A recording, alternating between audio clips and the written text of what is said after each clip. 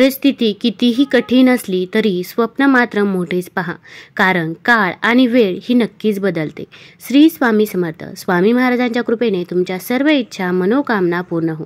येत्या दहा एप्रिलला श्री स्वामी समर्थ महाराजांचा प्रकट दिन आहे. त्यानिमित्ताने प्रत्येकजण सेवा हे करत आहे. कोणी एकवीस दिवसांची सेवा करत आहे तर कोणी अकरा दिवसांची सेवा करत आहे. तर आपल्याला माहीतच आहे स्वामी चरित्र सारामृत हा ग्रंथ अतिशय पवित्र ग्रंथ आहे आणि हा जर ग्रंथ आपण पठण केला तर आपल्या ज्या काही इच्छित मनोकामना आहे त्या नक्कीच पूर्ण होत असतात. येत्या दहा एप्रिलला स्वामी समर्थ महाराजांच्या प्रकट दिनानिमित्त आपल्याला स्वामी चरित्र सारामृताचे एक दिवसीय पारायण करायचे आहे. ज्यांना कोणतीच सेवा करणे शक्य झाले नाही त्यांनी हे एक दिवसीय पारायण जरूर करू शकता.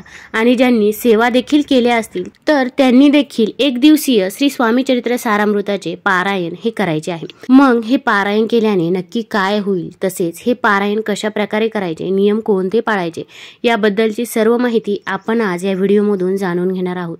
तत्पूर्वी तुम्ही चॅनलवरती नवीन असाल तर चॅनलला लाईक करा आणि सबस्क्राईब देखील करा.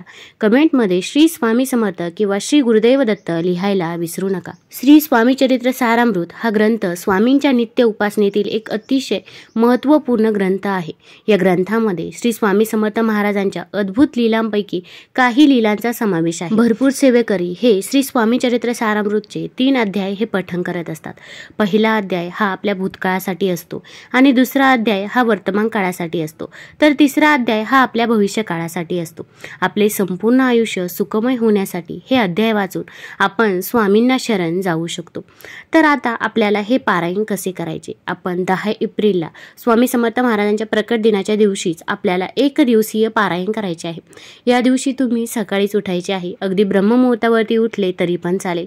आपण जी ब्रह्ममुहूर्तावरती सेवा करत असतो ती सेवा खूप म्हणजे खूप फलदायी ठरत असते. या दिवशी आपल्याला शक्यतो तरी पिवळ्या रंगाचे वस्त्र हे परिधान करायचे आहे. पिवळा रंग नसेल तर तुम्ही पिवळ्या रंगाचा रुमाल देखील दिवसभर हातामध्ये ठेवू शकता किंवा लाल रंगाचे वस्त्र देखील परिधान करू शकता.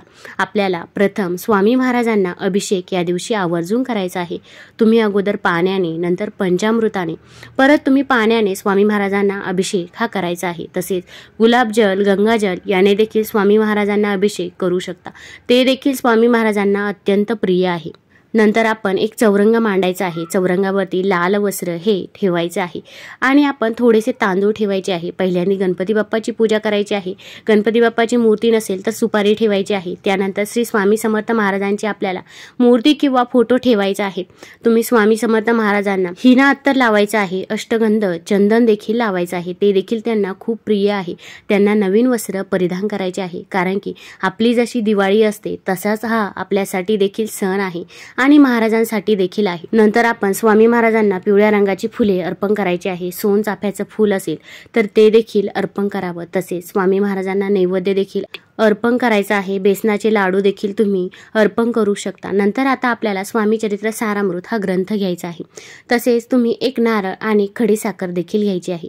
तुम्हाला ही जी काही नारळ आणि खडीसाखर आहे तुम्ही जेव्हा पण केंद्रात जाशाल तेव्हा तुम्हाला तिथे हे नारळ आणि खडीसाखर ठेवून यायचं आहे.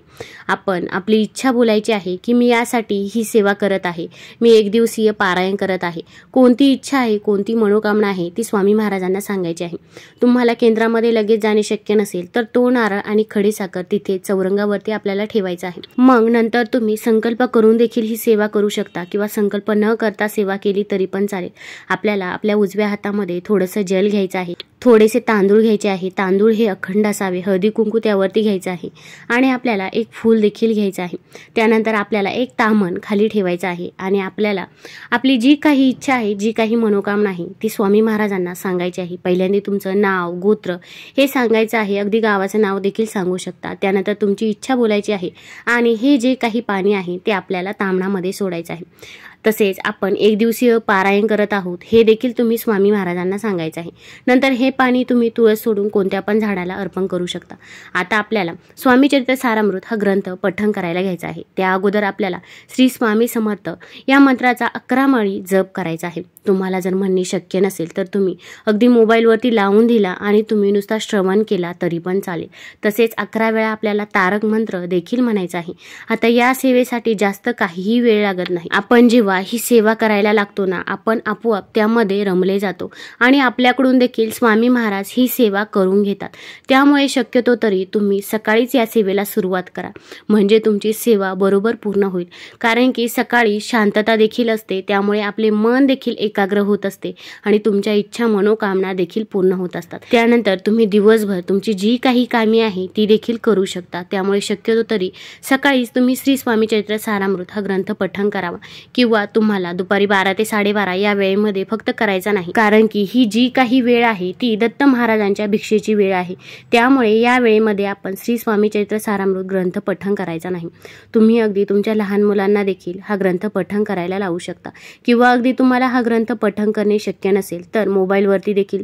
तुम्हाला यूट्यूबवरती देखील श्री स्वामी चैत्र सारामृत हा ग्रंथ मिळून जाईल. तुम्ही मग नुसता श्रवण केला तरी पण त्याचे पुण्यफळ हे तुम्हाला मिळेल. फक्त जे संकल्प करणे आपण नारळ आणि खडीसाखर ठेवणे या गोष्टी तुम्हाला कराव्याच लागतील. नंतर आपण एकवीस जे ग्रंथ आहे ते पूर्णपणे एकाच वेळी पठण करायचे आहे.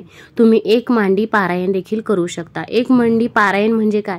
तर आपण जी काही पहिल्यांदी मांडी घातली होती तशीच मांडी आपल्याला पूर्ण पारायण होईपर्यंत राहून द्यायचे आहे. ज्यांना हे पारायण एकाच वेळी करणे शक्य असेल तर तुम्ही एकाच वेळी हे पारायण आवर्जून करावे. कारण की हा दिवस म्हणजे स्वामी समर्थ महाराजांचा प्रकट दिन आहे. या दिवसाला अनन्य साधारण महत्त्व आहे. पण तुम्हाला जर वयोमानाने शक्य नसेल किंवा आजारी असाल तर तुम्ही थोडेसे मध्ये उठून मग परत तुम्ही ग्रंथ वाचायला सुरुवात केली तरी पण चालेल. जेव्हा एखादी मुलगी पहिल्यांदी चपाती बनवत असते तेव्हा ती चपाती वाकडी तिकडी का होईना नकाशा का होईना पण आई ती कौतुकाने चांगलीच म्हणते. तसंच आपल्या स्वामी माऊलींचं देखील आहे. आपण जी काही तोडकी मोडकी का होईना पण सेवा करत असतो ना त्या सेवेला खूप महत्त्व आहे. मग ती सेवा स्वामी महाराज हे स्वीकारतच असतात.